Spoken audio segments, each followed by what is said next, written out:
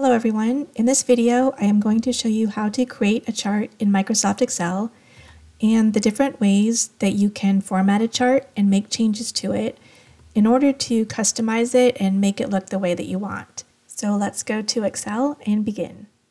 The first step when you want to create a chart is to select your data. I'm going to select the department and full-time column headers and the data that goes with them. Then navigate to the Insert menu. And on the Insert ribbon, there's a whole section for charts. We have shortcuts to different types of charts, and as I hover the mouse over them, Excel will show on the screen what that chart would look like using our data. You can also click on Recommended Charts, and when you do that, Excel will show you different charts that go well with the data that you have.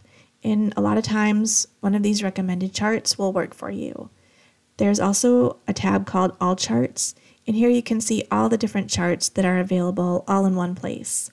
So again, here are the different column charts and line charts and so on. We'll click on column and just select the first clustered column chart and click OK. And we have our chart with the categories that are our departments. And then each category is showing with the bar the number of full-time employees. A chart in Excel is an object. You can drag this object around and you can also resize it by hovering the mouse over the circles that appear on the sides of the chart and also in the corners. Every chart is made up of different chart elements. So we have, for example, our title, and this title can also be selected and moved around within the confines of the chart object. There is also a plot area. This can be resized, but only within the chart object. And so if you do want it to go wider, you will first expand the object and then you can expand the plot area. Each of the individual elements within a chart can be formatted and customized in different ways. If I select the title, I can change the font by going to the Home ribbon, changing the color, make it bold, and I can even make it larger. If you click in the title box, you'll see that it's basically just a text box that I can type in and I can type in my own title. In a similar manner, I could click on one of the bars, at which point all of the bars are selected, and from the home ribbon, I can change the color. I can refine my selection further by selecting just one bar. Once all the bars are selected, and again I did that by clicking once on one of the bars, then click again on just one bar and you'll see that only this one bar is selected. And then I can change the color of that one bar. When the chart is selected, you'll notice that there's a menu off to the right and you'll see this plus sign. If you click on the plus sign, another menu appears off to the right of that.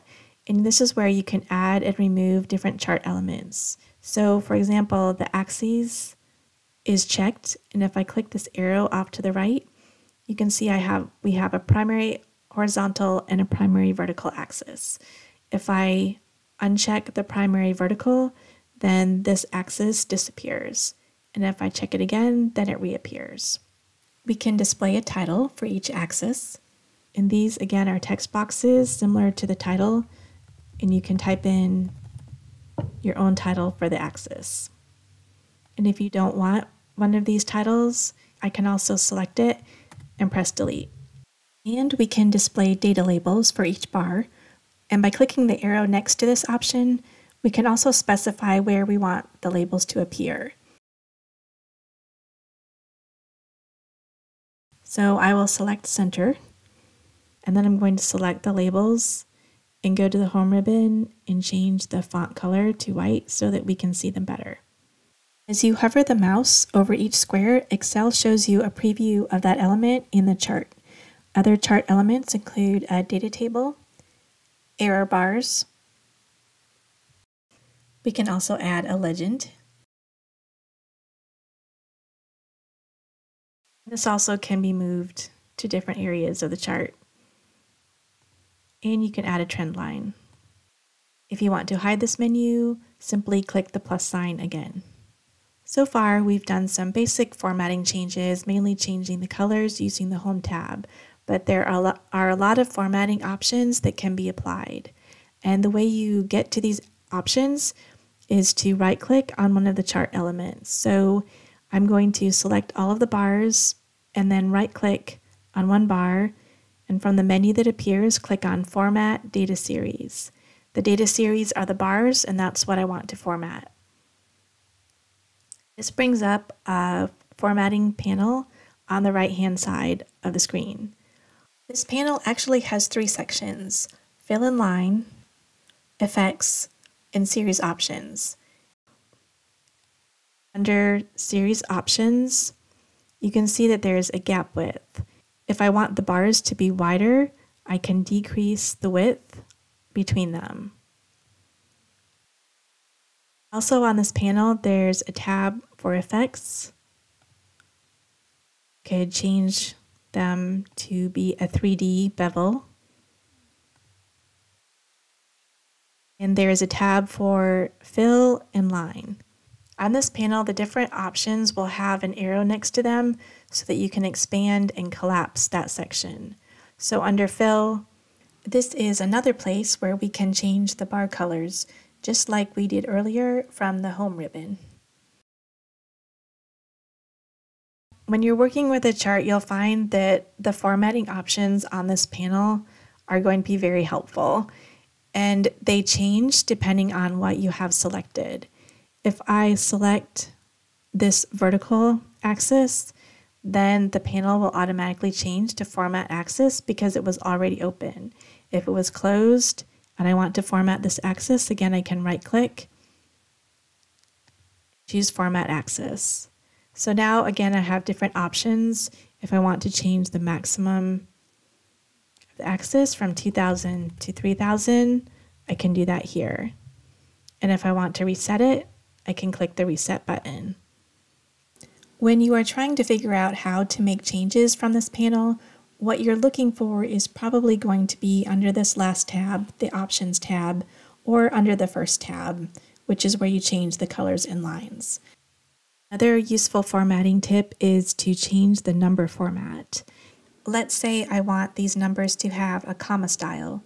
This can be accomplished by applying the comma style to the data that we use to create the chart. And when I do this, the data labels are reformatted and also the commas appear on the vertical axis, which is nice. So I usually try to match up the formatting in the source data with how I want it to appear on the chart. We have now looked at how to add and remove different chart elements and also how to apply custom formatting by right clicking on a chart element and bringing up the format panel on the right hand side. Now let's add more data to this chart and change it to a different chart type. Notice that when the chart is not selected, we have the usual menu items at the top of the screen. When I select the chart, two new menu items appear. One is Format with additional formatting options, and the other is chart design. And on this ribbon is where we can make changes to our data. Right now, we are showing the number of full-time employees.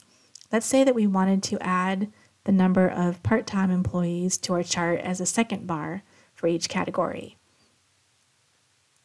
I'll select the chart and under Chart Design, click on Select Data. In the dialog box that appears at the very top, we have the range of data that is being used for the chart currently. And this range is also selected on the screen so that we can see it in our data table.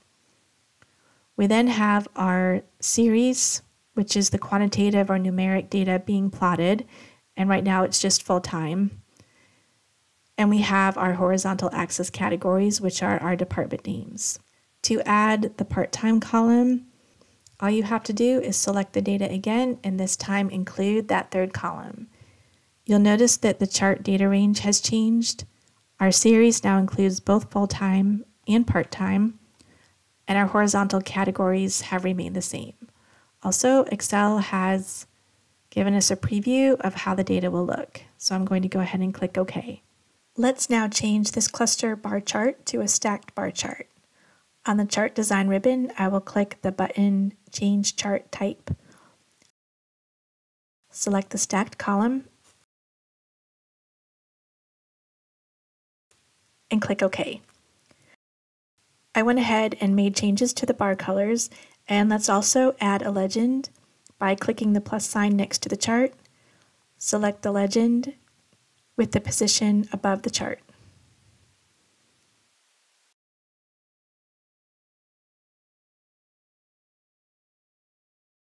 And the last thing I wanted to show you under the chart design ribbon is that you can also switch the rows and columns here. So right now we have our departments going across the horizontal axis. If we want the axis to have full-time and part-time and the departments to be stacked in the bar chart, I'll click on the switch row and column button. We can see how that will look. And if you want to put it back, just click on switch row and column again. Also, if you click on select data, this is another place where you can switch the rows and columns. And the good thing is the process to format a chart is pretty much the same for just about any chart in Excel. So let's uh, look at that really quickly and this will be our summary of everything that we learned. I selected the data, go to the insert menu, click on recommended charts. I don't see the type of chart I want, click on all charts, and I'm going to select a donut chart. Because the chart is selected, I have the chart design menu and I can click on select data and you'll see the same dialog box that we saw earlier. I can also change the chart type to a pie chart. Click on the plus sign next to the chart. Add data labels. Select the legend, press delete. Click on the pie chart right click and select Format Data Series. And there is a shortcut for bringing up this window. If you have any part of a chart selected and press Control 1, and I believe it's Command 1 on a Mac, then this window will appear. It's the same Control 1 as when you are working in cells, so you don't have a chart selected and you press Control 1, then the Format Cells window appears. If you have a chart selected, Control 1, the Format Chart panel appears. So the first panel is our fill and line. I could uncheck Vary Colors by Slice so that every slice has the same color. If I want to format just one slice, I can click on the entire pie once, then click again just on the one slice. On the Options tab, there's a way to explode that slice out a bit. As you can see, there are a lot of different ways to format a chart. I hope this video was helpful. If you have any questions about it, please let me know in the comments. And if you enjoy learning about working with data, please consider subscribing to this channel.